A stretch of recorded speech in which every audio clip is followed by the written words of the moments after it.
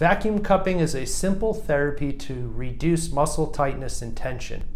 I've used it in sports medicine for years, whether at the Olympics or even in our clinic dealing with sports and regular life related injuries.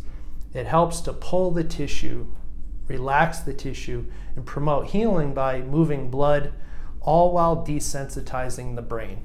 If you can feel the tissue, it is likely to be less painful. You won't compensate as much, and your range of motion should improve.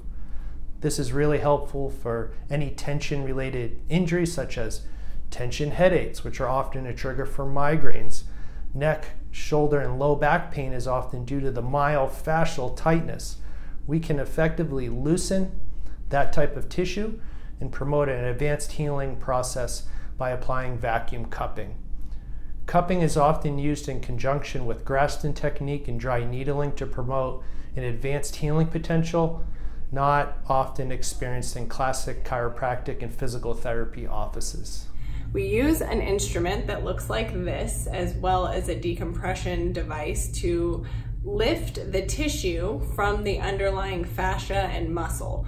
It's kind of, I explain to my patients, as if saran wrap is stuck on itself and we're kind of ungluing those layers where we're lifting the tissue from the muscle, allowing for improved blood circulation, decreased tightness in the fascia, and improved muscle function.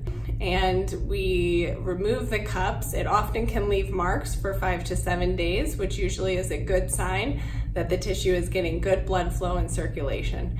Uh, this is one of our tools that we use in combination with others to help our athletes and day-to-day clients get back to the activities that they need to do to be able to move freer and have less pain. What people also don't realize is that with gua sha or scraping techniques, cupping is something the patient can do at home and we're more than happy to show you how to treat yourself.